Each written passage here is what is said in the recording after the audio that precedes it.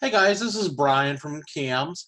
Today I'm going to show you guys how to use some Dassault System products such as DraftSight and SolidWorks.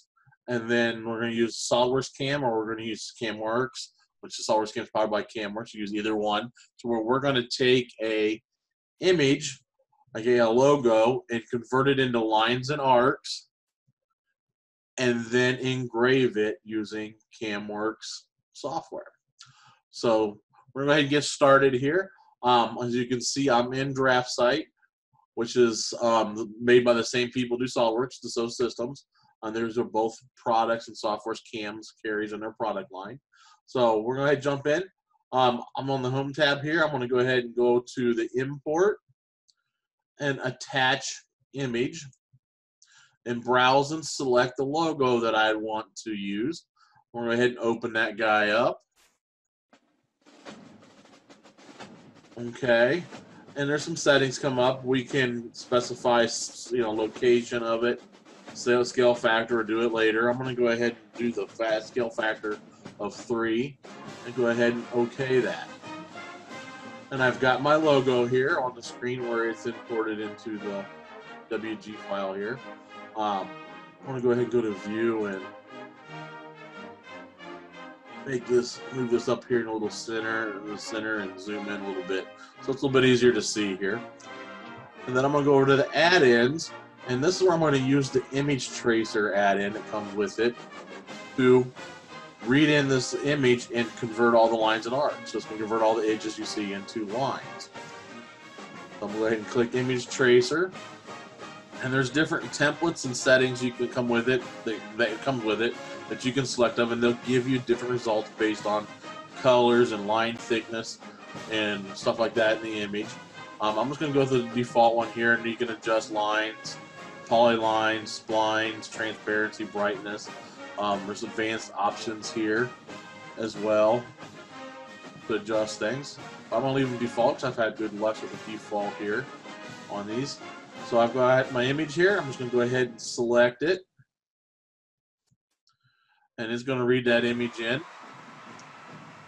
And it's 100% complete. I can hide the image and see what the lines, how it found them and convert them. Those are the lines I want. Um, so I'm going to go ahead and OK that. I'm going to go ahead and select the actual image here and hit the delete key to remove that image so I no longer need it. So I have my lines and arcs here. So I've got that. Now I'm just going to come up here to go File, Save As save it to my desktop. Um, I practiced before I demo here, so we got a file here. I'm just going to overwrite this file, osu.dwg. So yes, we're going to go ahead and replace that. I'm going to go over here to SolidWorks now, and we're going to create a new part.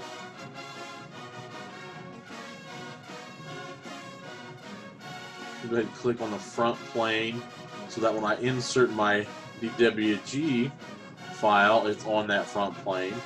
So I'm going to go to Insert, DXF, DWG file, change this to DWG file. I'm looking there where I saved it. On my desktop, I'll go ahead and open that up. And SolidWorks has got some import wizard here. I'm going to go through those. Go ahead and leave it the defaults. Finish that and hit OK.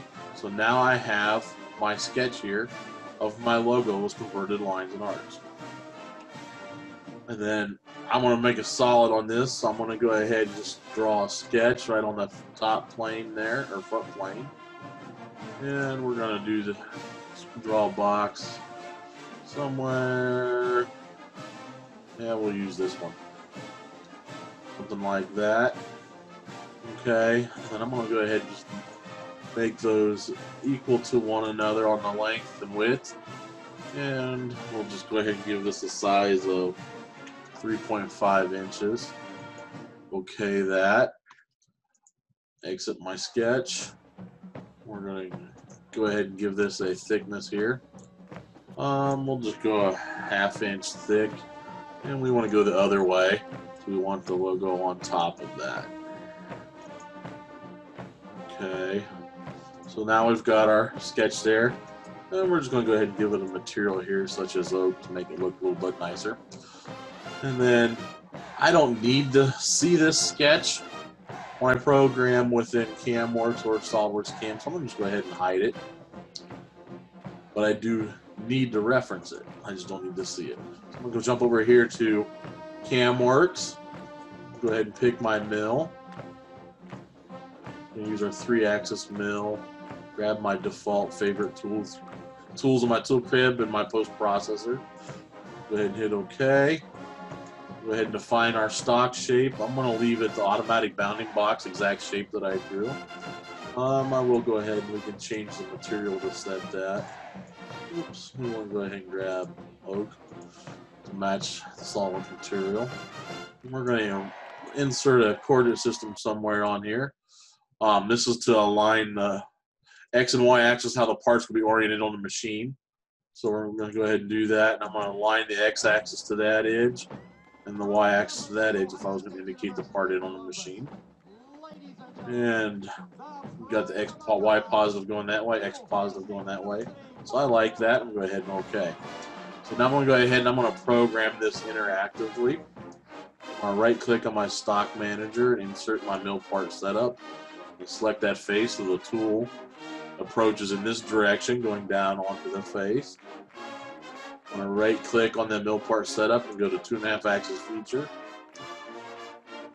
Engrave feature. And that's sketch two that I want to reference. You can see how it's highlighting the sketch. We'll tell it how deep do we want that cam feature to be. We're going to go 10 thousandths down into the part. I'm just going to leave the default finish strategy.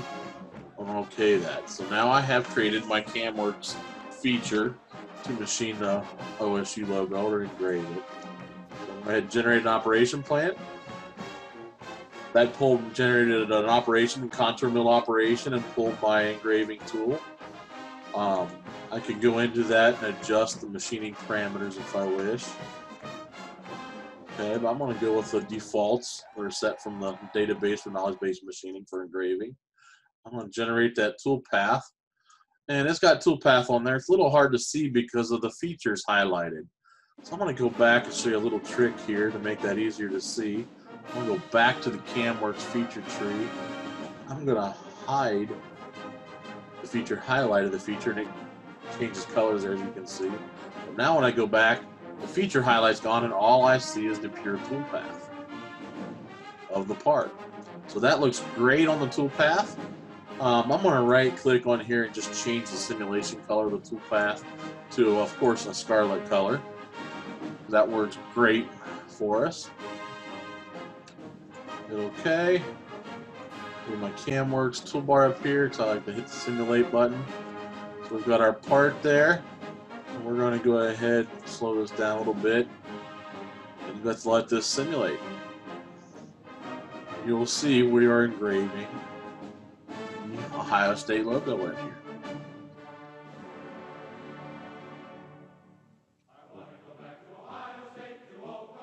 So it's a pretty simple way to convert an image into lines and arcs using uh, DraftSight and then in creating your part in SolidWorks and engraving your, it with CamWorks.